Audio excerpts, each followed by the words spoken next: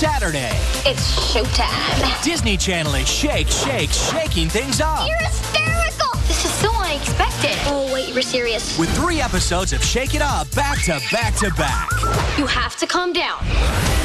Where challenges will be faced. Come on, chillax, bro. Questions will be asked. How you doing? How you doing? And I'm not moves will be busted.